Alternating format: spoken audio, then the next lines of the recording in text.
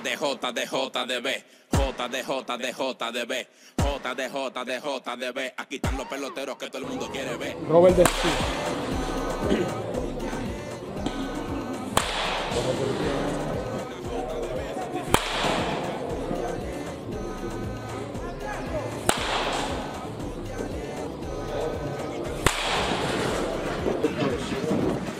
¡Para duro, para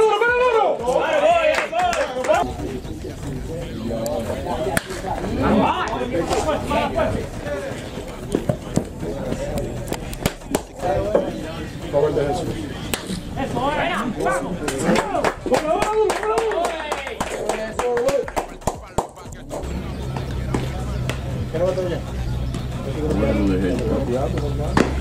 OVP de 365, Legión de 532. Tiene 20.